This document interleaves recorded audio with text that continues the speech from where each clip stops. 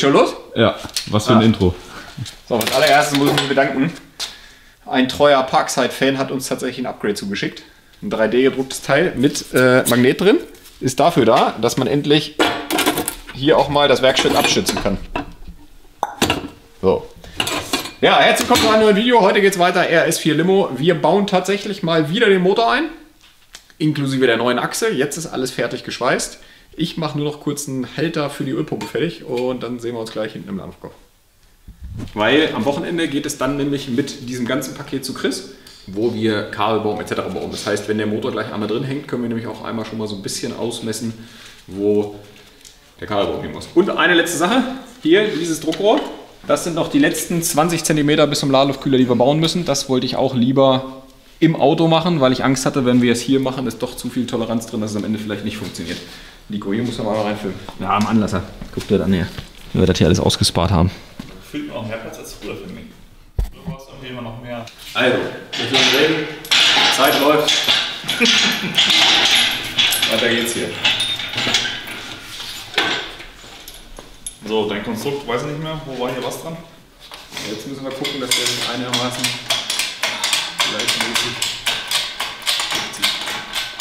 Die Gurte, da fahre ich noch mit zur Schneiderin, zur Näherin und die lasse ich mir genau auf der Länge zusammennähen, weil das Ding so geil da gerade mit hoch geht. Hier machen wir lieber nochmal einen Sicherheitsknoten rein.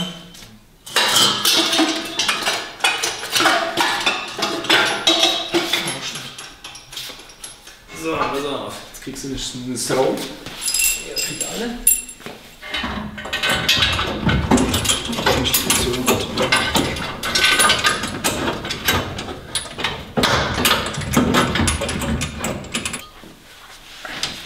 Das ist das Einzige, was hier im Laden verkauft blöd ist. Äh, Das Licht von oben ist so hell, dass man von unten immer nicht sieht. Wir müssen leider noch einmal raus. Ich habe sogar noch angezeichnet gehabt. Die Ecken Ah, okay. auf beiden Seiten müssen weg. Jetzt habe ich ja schon. Ich bin einmal kurz im Schleifraum. Ui. Kurz im Lambo eingerastet. Echt geholfen. Sechseinhalb Stunden später. Die Achsellöser auf dem Achsermessungsprüfung? Ja klar, zum Stutz anstellen, wie gesagt. Kennst du es nicht ausgebildet? Junge, hast du als gemacht? Ja, ich nicht selber. Ah, Cheyenne frisst eh keine Reifen, ne? Die 23er in Achilles kosten kein Geld. So. Mach du hinten, ich mach jetzt.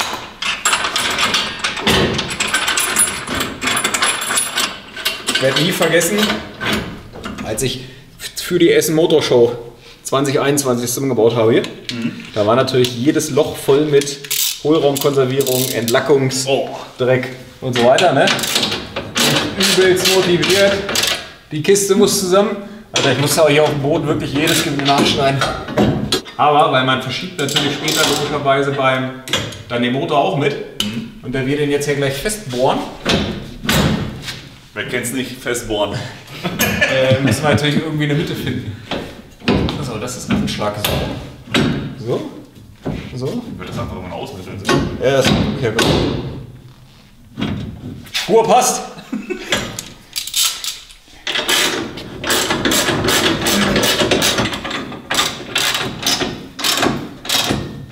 So, also hier sieht das hervorragend aus. Hier habe ich jetzt richtig schön Verstellbereich. Kannst du jetzt gerade mit dem 35er natürlich nicht filmen hier. Muss auch todesnah gerade dran sein, ne? Ja. Geil. Hier sieht auch alles gut aus. So machen wir das. Okay, also du willst den ja jetzt einführen. Ja, das Problem ist, es ist einfacher gesagt als getan. Ah, weil Sag ich doch. Tommy ja Oh, richtig. oh. Du steckt da mal eine Schraube durch. Dann kommt das wieder raus. Jetzt mal los. Oh nee. Ernsthaft? Nein, das machen wir nicht. Ach, gut. Der rutscht weg. Ja, dann geh rüber und gib mir da die schwarze Schraube. Nee, du musst den Lenker hören. Ja, so.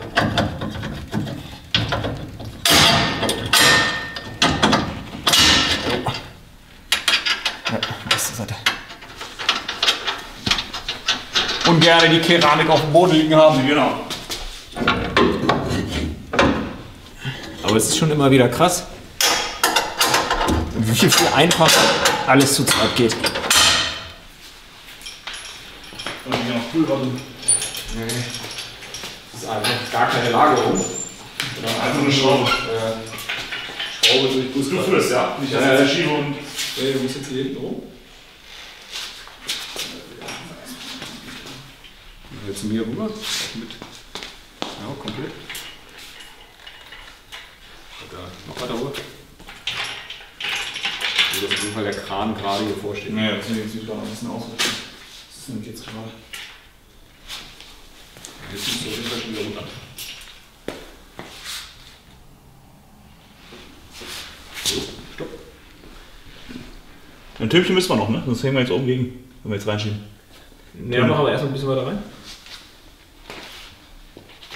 Das ist natürlich eine gute Frage, ob wir das alles so mit Getriebehaltern so. Haben wir jetzt einfach mal selbstverständlich dran gelassen. Okay, lass mal runter. Ein bisschen. Hallo? Also wenn er liegt jetzt irgendwo auf der Achse. Jetzt schieb mal.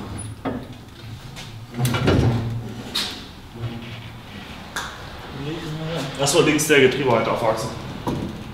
Weiter auf der anderen Seite. Ich weitermachen heute? Ja, schieb ein bisschen weiter. So, jetzt müssen wir schon runter. Können wir auch schon. Kannst du schon weiterschieben? Weiter? Ja. Jetzt hängen wir aber mit, der, mit dem Trichter hier dran. Ne? Du musst ja mal darüber. Oder soll ich kurz die Variante machen? Achso, ja, mach äh, los. Ja. So, jetzt können wir runter. Achso, warte, wir müssen ja eh. Wir müssen dann hier die Halter dazwischen. Wo sind meine Motorlager? Da. Deutschlands kleinste Lager. Vielleicht eine doofe Frage, aber warum spielen jetzt diese. Doofe Fragen gibt's nicht, gibt nur doofe Antworten, wie jetzt gerade. Die kommen jetzt. Die kommen jetzt.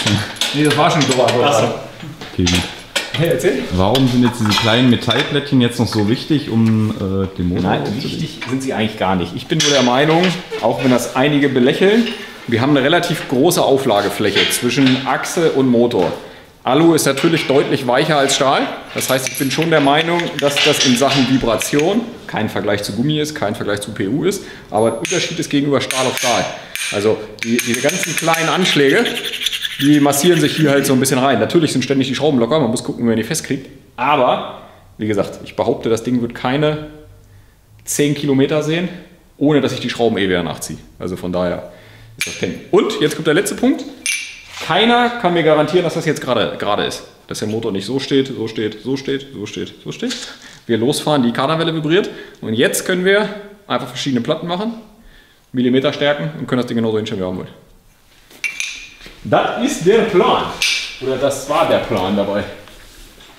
Unter die Ölwanne kann nicht passen, ne? Ja. Weiter? So 2, 3 Centi. Noch zu dir? Müssen wir noch hin.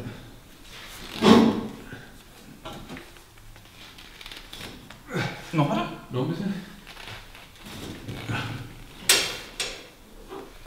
So, und jetzt eigentlich eher ähm, minimal so drehen. Wohin drehen? Ich sehe also. Okay. Das war auch gut gerade. Achso, der geht gar nicht, weil er hier schon an der Karosse ist. Passt so was? Würde ich sagen, sind wir schon recht nahe. Aber das fühlte sich schon gut an. Das Geile ist, das haben wir mit Absicht, mit Absicht gemacht, ähm, die, sowohl die, also die, die, die Aufnahmen sind nicht so, sondern die Aufnahmen sind so. Das heißt, jedes Mal, wenn ihr den Motor jetzt reinlasst, fällt der automatisch genauso. Also war auch gerade dumm, ihn von links nach rechts zu schieben, aber wir können ihn von links nach rechts gar nicht schieben. Wenn du ihn hier rüber schiebst, kommt er daher hoch. Ja, oder er kippt, schrägt, schrägt sich so ein. Deswegen, also eigentlich, also man müsste jetzt mit anderen Platten arbeiten, ne? Ja. Aber das passt doch so. Ja, vor allem, weil es halt, guck mal her, genauso passt. Ist überall in der Türmchen Luft. Ja, da müssen wir halt die Isolierung noch ein bisschen drücken, ne? So, das haben wir schon mal geschafft. Der sitzt hier schon mal drin, der Kollege. Hatte ich vorhin schon im Video gesagt, eine Lehre, die wir uns gleich noch machen, ist dieser Abstand zum Steuergerät. Das mache ich irgendwie mit ein paar Schweißdrähten. Punkte ich das auf den, so ein bisschen Holly Hall mäßig. Die haben nochmal aus Schweißdrähten das ganze Auto gebaut. Weil sie nicht Schweißdrähte waren. Aber weißt du, ich biege mir den so rum, biege mir den so rum, punkte mir den auf den Längsträger, dass ich weiß, dass das Steuergerät hier sitzt, um den Kabel umzubauen. Äh, lange Rede. Ich weiß nicht, das wievielte Mal wir den jetzt ein- und ausgebaut haben. Wir machen jetzt folgendes. Einmal Ladeluftkühler ran und einmal die, die Druckpipes nochmal angucken. Und dann haben wir alles zusammen. Neuer Tag, neues Glück. Weiter geht's. Druckrohr Nummer 1 ist fertig. Das war auch einfach, das war auch einfach wieder Wurstgulasch hier. Das war definitiv die einfachere Sache. Äh, die passt jetzt hier schön rein. Erstmal generell, ich glaube, wir hatten vorhin noch nicht gezeigt, wie der Motor und so weiter dann final mit dem ganzen Zeug angebaut davor war. Nee, ne? Nee. Joni kam rein und meinte, sieht aus wie so ein 2000 PS GTR. Ne, 3000 PS GTR hat er gesagt. 2000 ist zu wenig ja mittlerweile. Ähm, ja, aber irgendwie mittlerweile die Front halt wirklich voll ist. Wenn ich mir jetzt überlege, dass hier noch so ein bisschen Scheinwerfer, ein bisschen kühler. Oder? Ja, ja. Ich habe übrigens vom unseren Halter, den wir gebaut haben, schnell. Der ist perfekt nur für ein weiteres Teil. Seht ihr in dem nächsten Video. Und zwar, wenn es hier um Thema Ölleitung, ähm, Ölkreislauf und so weiter geht. Äh, da können wir noch was Cooles mitmachen. Also der ist da Gold richtig. Aber sonst so, aller, aller geilste ist, wenn du da vorne in das Rohr reinfilmst. Warte mal, Achtung, jetzt siehst du kurz meinen Kopf. Da sieht man mit Glück den Turbolader ganz am Ende, ne? Ja, tatsächlich. Ja. Das kann ich gut sehen. Wie viele Leute auf der nächsten Messe so vorliegen werden. Da sieht man auch schön unsere ganzen geschliffenen Rohre von innen. Äh, Das ist auch ehrlich gesagt das, was am längsten immer auffällt. Es reizt mich manchmal bei anderen Autos mal in die Rohre reinzugucken. Ich bin mir ziemlich sicher, dass es nicht so viel bringt, wie man denkt, aber wir schleifen halt wirklich alle Rohre von innen, egal wie, wo, was, dass am Ende ähm, die richtig schön also dass man keine Kanten von innen hat. Natürlich ist die Oberfläche nicht poliert. Noch besser wäre es, wenn sie jetzt poliert wäre.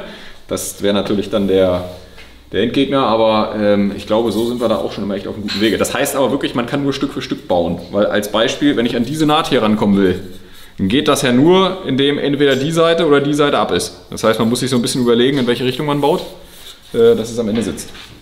Also, wir bauen jetzt gerade noch auf der anderen Seite das Rohr. Das ist nicht ganz so einfach, weil es hier so ein bisschen um die Pumpe rumgeht. Die Seite hier ist schon ready, die können wir wieder reinhängen. Ich habe mir überlegt, ich habe mich doch noch nicht getraut zu bohren, weil praktischerweise, deswegen, Alter, ich habe gestern im Bett gelegen, habe mir so nochmal überlegt, wie geil dieser Motor da gerade reingeflutscht ist, weil ich habe ja schon ein paar Mal bei diesem Auto, das kann man so sagen, weil er ist ja wirklich reingeflutscht. Ja. Ähm, ich habe ja schon ein paar Mal Motor ein- ausgebaut, aber wir können jetzt ja wirklich den Motor einfach gerade von vorne reinschieben. Und ähm, was mir dann eingefallen ist, dieses Positionieren des Motors ist eigentlich fast ein Ding der Unmöglichkeit, weil dadurch, dass jetzt die beiden Motorlager so im V stehen, sitzt der Motor ja automatisch an einer Stelle in dem V. Also er kann ja nur ganz runterrutschen. Schiebe ich ihn da rüber, steht er hier in der Luft. Das heißt, er wird sich automatisch immer wieder in diese Position schieben. Ähm, und deswegen passt das auch alles so gut, weil es halt genauso ist wie da. Bohren, ich habe jetzt angezeichnet, trotzdem nochmal einmal nur mit dem Edding kurz angezeichnet, wo die ganzen Halter auf unserem Plateau sind, damit wir jetzt einfach eins zu eins zur Not nochmal kontrollieren können, ausgebaut. Da wir gleich bei der Achse nochmal schneiden, hatte ich ein bisschen Angst, dass dabei sich doch ein bisschen was verändert und am Ende sitzt der Motor nicht mehr in den Löchern drin, deswegen schneiden wir lieber erst die Achse. So, aber erstmal machen wir jetzt hier die, die Rohre fertig. Das hier kommt einfach so kluck hier rein. Das ist Rohr Nummer 1 kann man nicht viel machen. Einfach nur gerades Rohr. Und Rohr Nummer 2 machen wir fertig. Wenn ich ganz ehrlich bin, hat das eigentlich so einen kurzen Porn verdient, oder? Definitiv. Wenn da, ich meine, die fünf Minuten fürs Film haben wir eigentlich, glaube ich, kurz, dass wenn das zweite Rohr da gleich dran ist, bevor wir es wieder alles ausbauen, einmal ganz kurz im Porn, aber erstmal machen wir das Rohr noch fertig. Ich sehe gerade, Alter, die Ladeluftkühlung muss ich auch noch. So sieht das halt von innen aus. Also ganz viele Sachen schweißen wir auch von innen, gerade wenn es halt hier so Guss auf Drehteil ist. Äh, Und da muss ich überall jedes Mal, deswegen sehen wahrscheinlich auch meine Heute geht. Gestern war gestern Metallic, war. Metallic. Metal Flakes. ja, auch mal eine geile Lackierung, ne? So ein Auto lackieren und dann einmal jedes Mal hinfahren und so.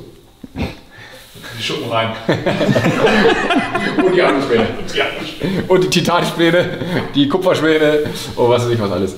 Äh, nee, wir machen jetzt die beiden Rohre hier noch schnell dran, dann gibt es einen kleinen Porn und dann ziehen wir den Motor raus und machen da noch schnell die Schnellverschlüsse rein. Weil die Zeit rennt.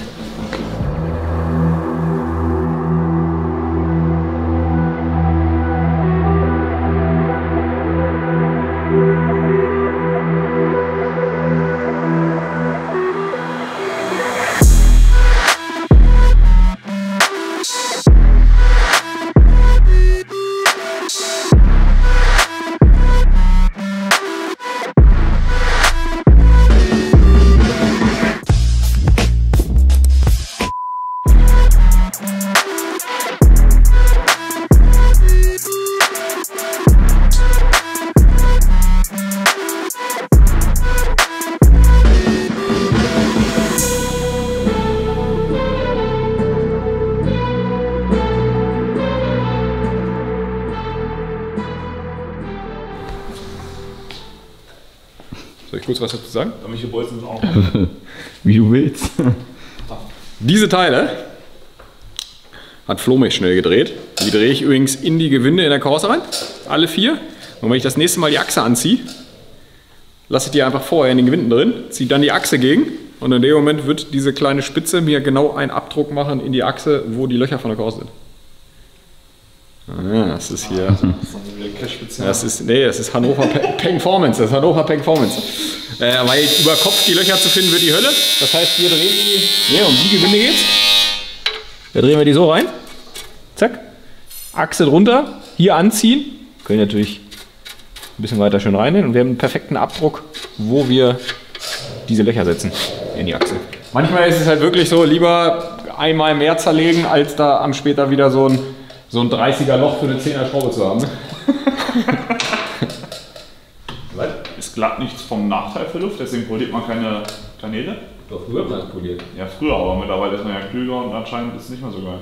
Oder? Nee, man hat irgendwann festgestellt, dass eine gezielte Oberfläche mit kleinen Kugeln drin, wie ein Golfball oder ein Flugzeug, quasi eine Verwirrung erzeugt und Luft auf Luft strömt besser als Ja. Luft auf Metall. So, aber ich behaupte nicht, dass jemand diese gezielten. Da geht es mehr um die Oberfläche und nicht über die, über die Kurven. Also es muss glatt sein und dann muss die Oberfläche so golförmig sein. Es geht ja eigentlich hierbei auch gar nicht um die Oberfläche polieren, sondern eher die Hügel und Tale wegzunehmen. Ne? Und mit dem Fräser noch tiefere, noch tiefere TA machen. Äh, es geht so, dass es nicht verzieht, ne? Auf den letzten Metern. So wir hinten erstmal noch nicht machen wir später. Okay, dann bin ich leider raus, wenn es sich nicht verziehen soll. Keine Rücksicht, aber noch. Mhm. Echt? Kurva.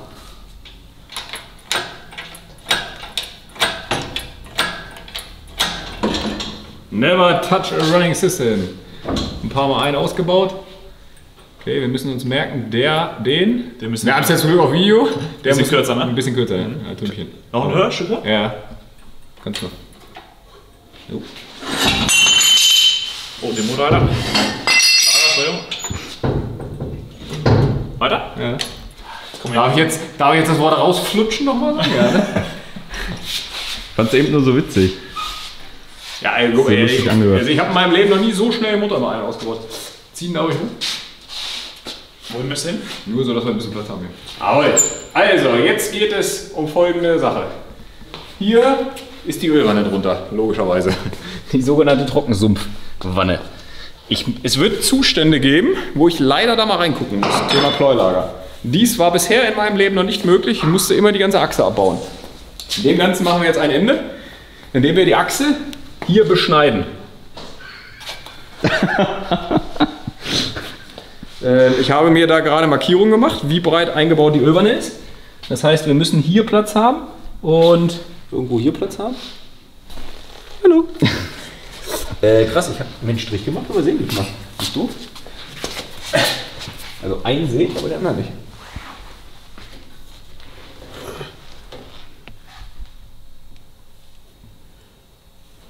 Okay, das ist auf jeden Fall Motorsport.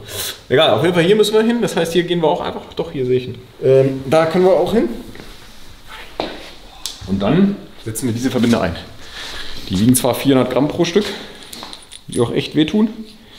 Aber da wir in diesem Video ja eh schon viel Gewicht haben. Achso, die sind sogar zugelassen im Käfig.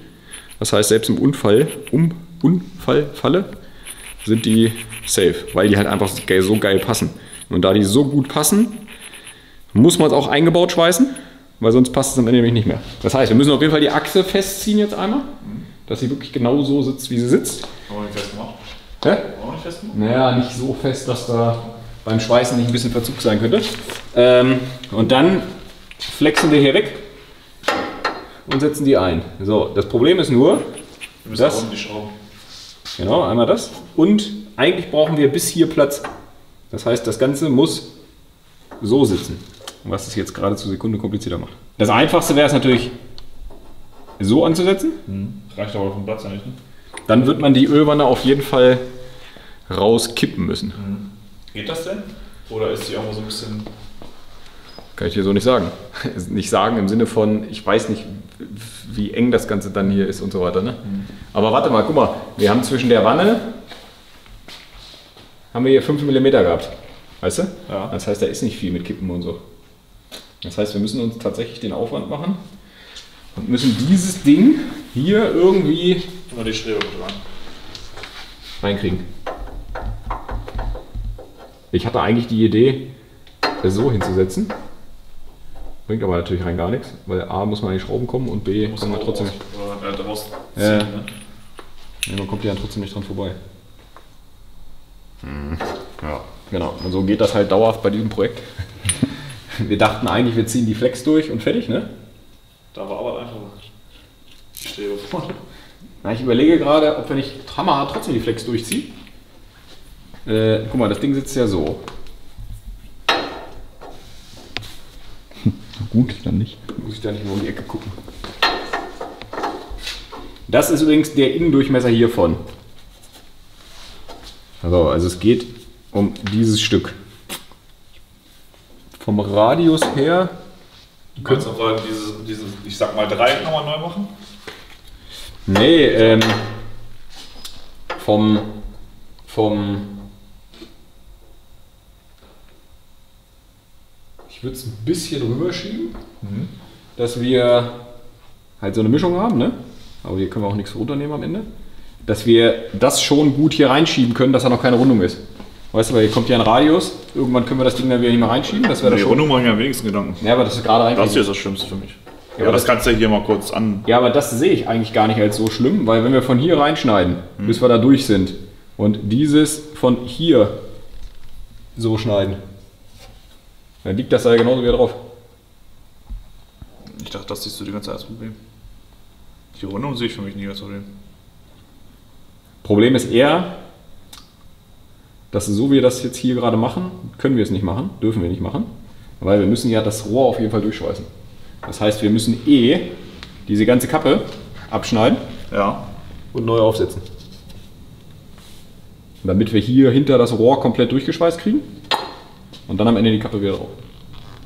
Auf die ganze Achse der Ohren können weiter.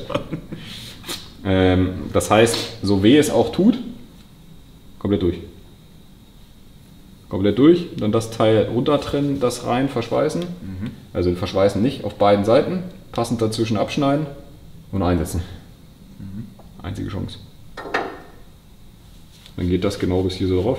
Dann kann man das hier auch verschweißen. Dann muss man natürlich hoffen, dass dieses Teil verzugsfrei bleibt, ne? Weil wenn sich das minimal verzieht, Ja, wir müssen halt alles anpunkten und zusammenschrauben. Ne? werden wir hier im Auto machen. Ja, ja, klar. Ja, okay. Ich kann gerne morgen noch kommen. Nee, darum geht es gerade gar nicht. Ich habe gerade schon wieder noch eine, die, jetzt kommt mir dabei schon wieder die nächste Upgrade-Version. Jungs, erstes Thema fertig. Nein, weil so richtig, wir haben jetzt ja ein bisschen was gelernt zum Thema Achsenbauen und so weiter. Ähm, und es gibt ja eine Stelle, die an dieser Achse komplett fehlt. Und das ist halt wirklich hier ein massives Dreieck irgendwie.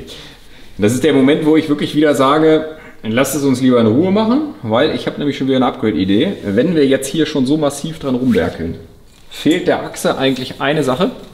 Und das ist hier nochmal eine Diagonalstrebe. Weißt du, siehe Diff-Aufhängung hinten.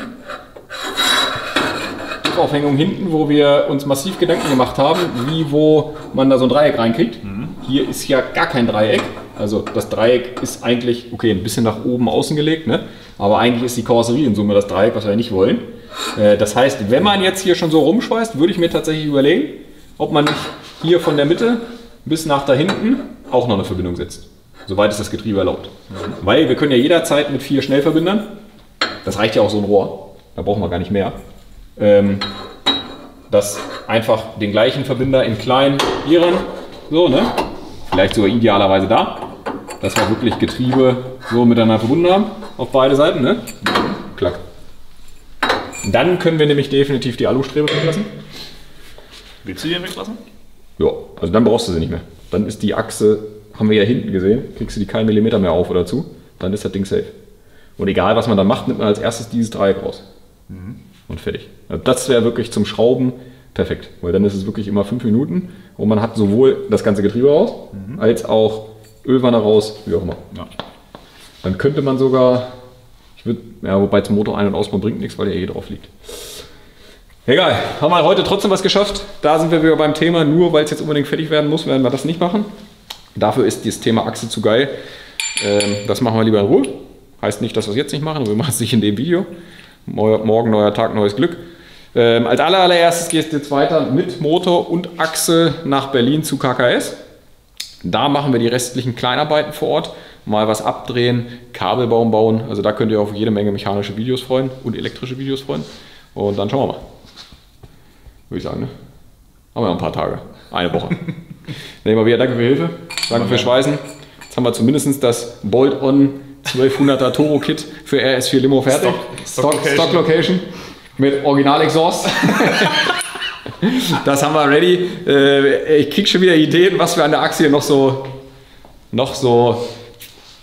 Ah, scheiße, wenn ich das vorher gewusst hätte.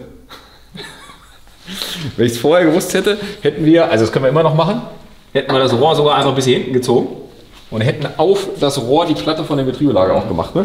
Dass man das so komplett nach unten absetzen kann. Ne? Aber egal, wir gucken uns das in Ruhe an. Dafür reicht es erstmal. Ähm, danke fürs Zuschauen und bis zum nächsten Mal. Ciao. Tschüss.